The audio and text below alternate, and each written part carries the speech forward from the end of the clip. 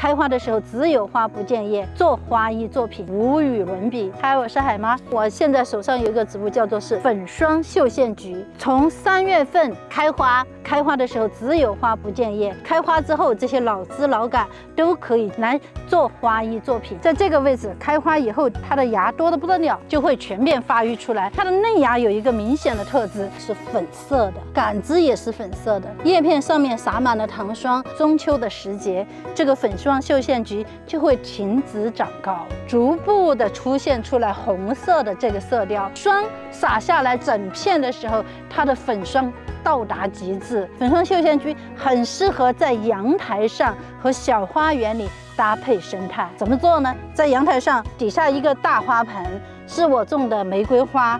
大花盆上有一个位置是空起的。我就把这一个粉霜绣线菊放在这个上面，根很彪悍，扎下去扎在玫瑰花盆里面，它会吸掉月季花盆里面多余的水分。如果要着蚜虫，是粉霜绣线菊着，它被祸害之后就长瓢虫。它本身长满蚜虫，不受蚜虫影响，这也是这种花灌木类型的植物的生态的价值所在。耐寒零下二十度左右，耐阴到阳台的北向可以栽培。不妨回去试试看，低维护、皮实且生态的植物来搭配你的花园，多维度的去了解园艺和植物。好了，关注海妈，陪你种花，拜拜。